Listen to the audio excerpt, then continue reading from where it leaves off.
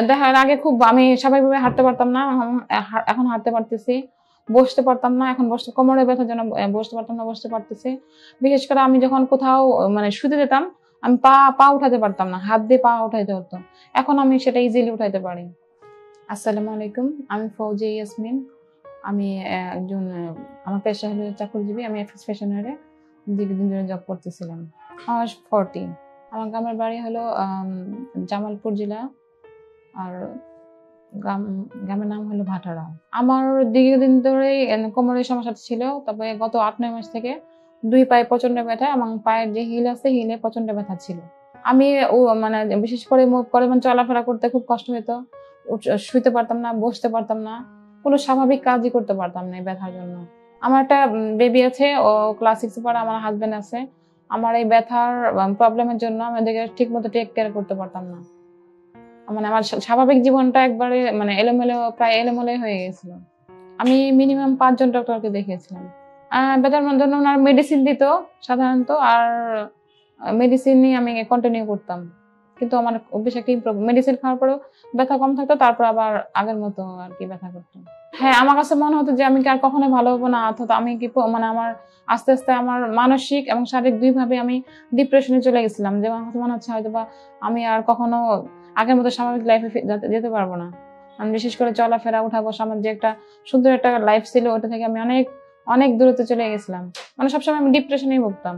আমার এখানে একজন ইয়ে কলিগ ছিল, ও এখানে ট্রিটমেন্ট নিয়েছিল ও আমাকে আপনাদের এটা ইনফরমেশন দিচ্ছে এবং সর্বোচ্চ রিকোয়েস্ট করছে যে আপনি এখান থেকে নেন ইনশাল্লাহ আপনি ভালো হবেন। এখানে আমি খুবই খারাপ একটা বাজে অবস্থার মধ্যে আসছিলাম যে মানে খুব ভালোভাবে হাঁটতেও পারিনি। তো স্যারের কাছে আসার পর সে আমাকে কনফিডেন্টলি বলছে যে আপনি এখানে ভর্তি হন আমাদের ট্রিটমেন্ট ইনশাল্লাহ আপনি ভালো হবেন। মানে উনি কনফিডেন্টলি বলছে, বিধায় আমি এখানে আর কি ট্রিটমেন্ট নিয়েছি এখন আলহামদুলিল্লাহ মানে আমি ভালো। এবং আমার কাছে মানে আমার খুবই ভালো লাগতেছে যে আমি আমার যে লাইফটা যে পোড়াপড়ি এলে মনে হয়েছে তার থেকে আমি আমার আগের মতো স্বাভাবিক জীবনে ফিরে আসতে পারছি। এটাই আর কি আগের মানে অনেক ভালো অবস্থানে আছে এখন। আহ, দেখা আগে খুব আমি স্বাভাবিকভাবে হাঁটতে পারতাম না এখন- হাঁটতে পারতেছি। বসতে পারতাম না এখন বসতে কোমরে ব্যথার জন্য বসতে পারতাম না বসতে পারতেছি। বিশেষ করে আমি যখন কোথাও মানে শুতে যেতাম আমি পা পা উঠাতে পারতাম না, হাত দিয়ে পা উঠাইতে হতো। এখন আমি সেটা ইজিলি উঠাইতে পারি। আমি আসলে ডিপিআরসির প্রতি অনেক কৃতজ্ঞ। এখানে শফিউল্লাহ প্রধান স্যার মানে আমি অনেকজন, অনেক প্রে করি। উনি খুবই ভালো আমাকে ট্রিটমেন্ট দিছে।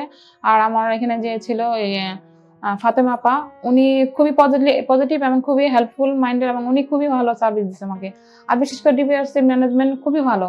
আমি খুবই প্লেসড মানে আমি এরকম একটা হাসপাতাল এখানে আছে মানে আমার কাছে খুবই ভালো লাগছে যে, না, বাংলাদেশে এরকম খুবই ভালো একটা হাসপাতাল আছে যেখানে আসলে আসার নিশ্চয়তা পাওয়া যায় এখানে ভালো হবে। আমার মতো যারা রোগী আছেন, যারা এরকম মানে আমার মতো প্রবলেম ফেস করতেছে, তাদের জন্য আমার একটা মেসেজ থাকবে, অর্থাৎ প্রাথমিক অবস্থায় যখন মানে সে প্রবলেম ফেস করে, তখনই ট্রিটমেন্টটা কোনো ডাক্তারের কাছে না গিয়ে ডিপিআরসি এরকম একটা প্রতিষ্ঠানে আসলে আমার বিশ্বাস তারা ইনশাল্লাহ আমার মতোই মানে সুস্থ হয়ে যাবে আর কি।